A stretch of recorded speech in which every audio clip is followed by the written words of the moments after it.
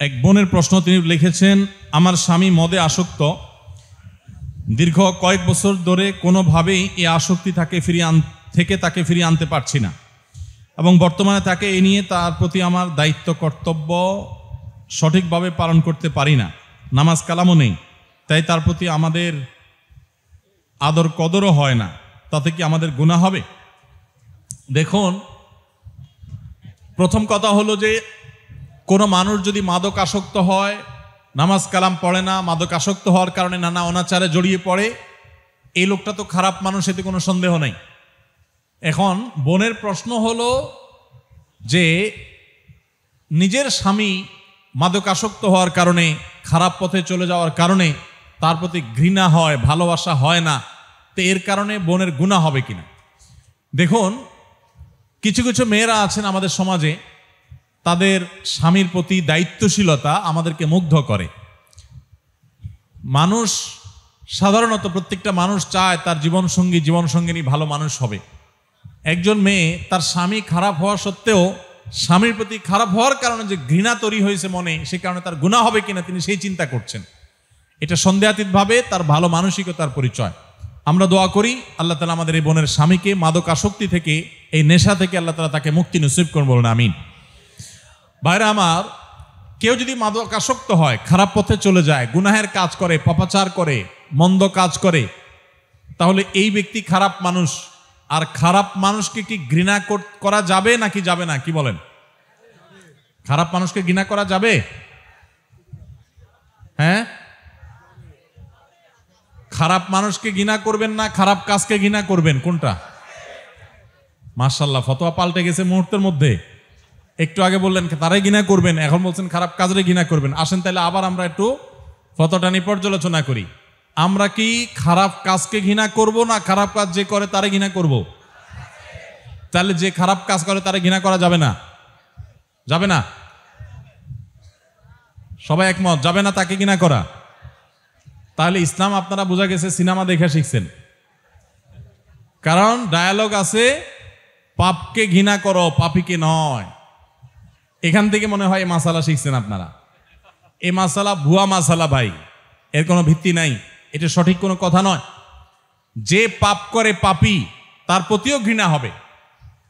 ঘৃণা তার প্রতিও তবে সেই ঘৃণার পাশাপাশি লোকটার প্রতি কল্যাণ কামিতাও থাকবে। যদি তিনি খারাপ কাজটা একটু ছেড়ে ভালো পথে চলে আসতেন, এ আকাঙ্ক্ষা থাকবে, এই প্রচেষ্টা থাকবে। পাশাপাশি তিনি খারাপ কাজ যেহেতু করছেন, এজন্য তার প্রতি ঘৃণাটা থাকাটাও স্বাভাবিক, এটা কোনো দোষের বিষয় নয়। আমাদের দেশে এই যে আপনারা স্লোগান শুনছেন, শুনতে কত সুন্দর লাগে দেখেন। কত মনে হচ্ছে যে কত ভালো মানুষ, কত উদার মানুষ, যে মানুষকে এত ভালোবাসে, যে মানুষ পাপ করলেও বলে, পাপকে ঘৃণা করো পাপিকে করিও না? মানে এগুলো হলো মুখরোচক স্লোগান বলে এটাকে। শুনতে অনেক সুন্দর শোনা যায়, কিন্তু অন্তঃসার শূন্য। পাপকে যদি ঘৃণা করতে হয়, তাহলে যে পাপ করে, তাকেও কি করতে হবে? ঘৃণা করতে হবে। অতএব জীবন প্রশ্ন করেছেন যে স্বামীর প্রতি আপনার ঘৃণা তৈরি হওয়া মনের ভিতরে এর কারণে আপনার কোনো গুণা হবে কিনা? উত্তর হলো, না, প্রশ্নই ওঠে না, গুণা তো হবেই না। বরং তার পাপের কারণে ঘৃণা করাটাই হলো ইমানের দাবি। আল হব্বুলিল্লাহ ওয়ালবদুলিল্লাহ আপনারা একটা হাদিস শুনেছেন, মান আহাব্বালিল্লাহ ও আবগাদারিল্লাহ আপনি কাউকে ভালোবাসেন আল্লাহর জন্য। কাউকে অপছন্দ করেন সেটা কার জন্য? আল্লাহর জন্য। একটা লোকরে খুব পছন্দ করতাম, হঠাৎ করে তিনি খারাপ কাজ করছেন, তাকে আমি এখন ঘৃণা করছি। এটা কার জন্য? আল্লাহর জন্য। এরকম হলে তখন সেটা হলো পরিপূর্ণ ইমানের পরিচায়ক। সেটা হবে পরিপূর্ণ ইমানের আলামত। সো পাপিকে ঘৃণা করা দোষের বিষয় নয়, তবে শুধু ঘৃণার মধ্যে সমাবদ্ধ থাকা যাবে না, বরং ঘৃণা করার পাশাপাশি তার সংশোধনের চেষ্টাও করতে হবে। মাদক আমাদের সমাজকে ধ্বংসের দ্বার প্রান্তে নিয়ে যাচ্ছে। কত সমাজ শেষ করে দিয়েছে। কদিন আগে আপনারা শুনেছেন, বাবা নিজের সন্তানকে কুড়ল দিয়ে কুপিয়ে হত্যা করেছে। বিভিন্ন মিডিয়াতে আপনারা দেখেছেন না? মাদক কোন পর্যায়ে নিয়ে গেছে আমাদের সমাজকে যে বাবা তার সন্তানকে হত্যা করার মতো আইন হাতে তুলে নেওয়ার মতো কাজ করেছেন? এবং কত সংসার ভেঙে শেষ হয়ে যাচ্ছে, কত সন্তান বাবা মার মমতা থেকে দূরে সরছে এই মাদকের কারণে। এই মাদকের বিরুদ্ধে আমাদের জিহাদ গড়ে তুলতে হবে, সংগ্রাম গড়ে তুলতে হবে। দেখুন, মাদক মানুষের শুধু আখেরাতকে বরবাদ করে না, দুনিয়ারেও বরবাদ করে। আখেরাতকেও বরবাদ করে, দুনিয়াকেও ধ্বংস করে। পশ্চিমা দুনিয়ার মানুষ, আমরা যেরকম পানি খাই তারা সেরকম মদ খায়। তাদের কাছে পানির মতো হয়ে গেছে মদ, এত বেশি সেবন করে। এর ফলশ্রুতিতে তাদের লাং শেষ হয়ে যাচ্ছে। তাদের বডিতে ইমিউন সিস্টেম সিস্টেম আস্তে আস্তে উইক হয়ে যাচ্ছে, দুর্বল হয়ে যাচ্ছে। করোনার সময় আপনারা দেখেছেন, গোটা পৃথিবী কোভিড নাইন্টিনে যখন নাকানে চুবানি খাচ্ছে, নাকাল যখন হয়ে গেছে গোটা বিশ্ববাসী, তখনও আপনারা একটু খেয়াল করে দেখবেন, মুসলিম প্রধান দেশগুলো, মুসলিম প্রধান জায়গাগুলো তুলনামূলকভাবে সেই জায়গাগুলোতে কোভিড নাইন্টিনের আক্রমণে মানুষের মৃত্যুর হার পরিমাণে সবচেয়ে কম। ইরানে একটু বেশি ছিল তার্কিতে কিছুটা ছিল। এছাড়া মুসলিম কান্ট্রিগুলোতে অলবান অন্যান্য অমুসলিম কান্ট্রিগুলোর চাইতে আপনি একটু মিলিয়ে দেখেন যে মানুষের মৃত্যুর হার কোভিড নাইন্টিনে অনেক কম ছিল। এবং আমাদের দেশের কথা যদি বলেন, আমাদের মতো গরিব দেশ, মাস্ক এক নম্বর তো দূরের কথা, দুই নম্বরটাও অরিজিনাল দুই নম্বর পাওয়া যাইতো না। দুই নম্বরটাও অরিজিনাল দুই নম্বর কিনা, এটা নিয়ে আমাদের সন্দেহ হইতো। স্যানিটাইজার, এত ভালো স্যানিটাইজার আমরা পাইতাম না। হ্যাঁ? আমরা কোন রকম নর্মাল স্যানিটাইজার, মাস্ক দিয়ে চলতে হতো। আবার অনেকে আছে কিসের মাস্ক টাস পুরো কোভিড নাইন্টিন চলে গেছে, তাদের খালি মুখে, খালি নাকে। এরপরও আমাদের দেশে ওই রকম মেসাকার হয় না যেমন হয়েছে আমেরিকাতে, ইটালিতে, এমনকি আমাদের পার্শ্ববর্তী দেশ ইন্ডিয়াতে, দিল্লিতে লাশ সৎকার করার মতো মানুষ পাওয়া যায়নি। তাদের সমস্ত সিস্টেম ভেঙে পড়ার উপক্রম হয়ে গেছে। রাস্তা রাস্তা লাশ পড়েছিল, এত বেশি মানুষ মারা গেছে। সেই তুলনায় কিন্তু আমাদের দেশের প্রতি আল্লাহ রহম করেছেন, ঠিক না বেঠিক এবং আপনি সৌদি আরব বলেন, মিডিল ইস্ট বলেন, আরব কান্ট্রি বলেন, যে দেশগুলোতে সাধারণ মানুষ, জনগণ মাদক খুব বেশি গ্রহণ করে নাই সেটা মুসলমান হওয়ার কারণে ডেফিনেটলি ইসলাম হারাম করেছে, সেজন্য মুসলমানরা খায় নাই, মদ থেকে বেঁচে ছিল। তারা তুলনামূলকভাবে বেশি সেফ হয়েছে, লক্ষ্য করে দেখবেন, মিলিয়ে দেখবেন আমার কথাটা। এবং এর যদি দশটা কারণ থাকে যে তারা সেফ ছিলেন কেন, তার একটা কারণ অবশ্যই এটা হবে যে তাদের মধ্যে মাদক গ্রহণ করার প্রবণতা রেশিও অনেক কম থাকার কারণে তাদের ভেতরটা অর্গানগুলো তুলনামূলকভাবে অনেক স্ট্রং ছিল। আল্লাহ তাদেরকে হয়তো এই উসিলা হেফাজত করেছেন। আরও বহু কারণ থাকতে পারে। এই জন্য ভাইরা আমার মাদক সব কিছুকে শেষ করে দেয়।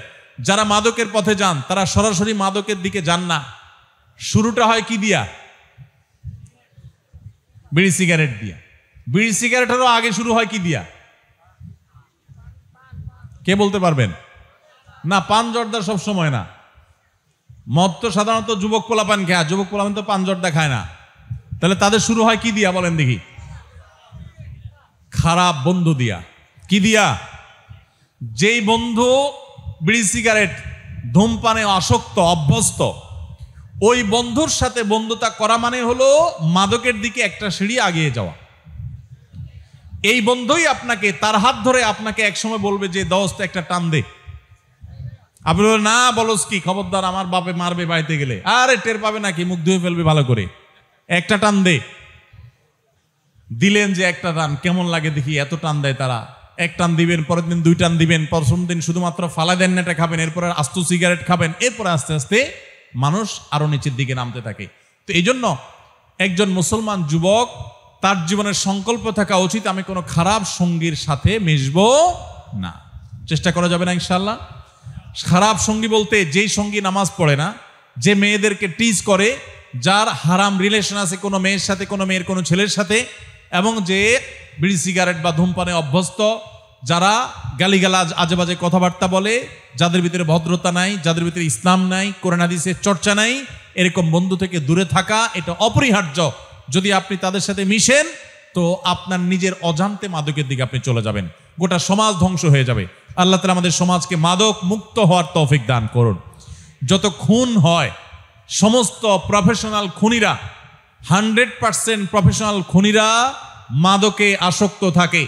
মাদক তাদেরকে খুন করতে সহযোগিতা করে। যত রকমের অন্যায় হয়, অনাচার হয় সমাজের, মানুষ খুন বলুন, ব্যবিচার বলুন ধর্ষণ বলুন এই সবগুলোর পেছনে মাদকের কারবার থাকে হাত থাকে। সো সেখানে আমাদের সবাইকে ফোকাস করতে হবে এবং মাদক আসার রাস্তাগুলো আপনাদের থেকে বেশি দূরে নেয়, চট্টগ্রাম থেকে, তাই না? বার্মা হয়ে যে আসে এই জায়গাগুলো প্রোটেকশন দেওয়া আমাদের আইনশৃঙ্খলা রক্ষাকারী বাহিনীদের কর্তব্য। আশা করি তারা তাদের দায়িত্ব যথাযথ পালন করবেন আর আমরাও আমাদের দায়িত্বগুলো ইনশাআল্লাহ প্রত্যেকে যার যার জায়গা থেকে পালন করব। আল্লাহ তালা আমাদের সবাইকে মাদকের এই ভয়াবহ করাল গ্রাস থেকে, থাবাক থেকে আল্লাহ তালা আমাদের সবাইকে হেফাজত থাকার তৌফিক দান করুন। আসুন্নাহ ফাউন্ডেশন, উম্মার স্বার্থে, সুন্নার সাথে।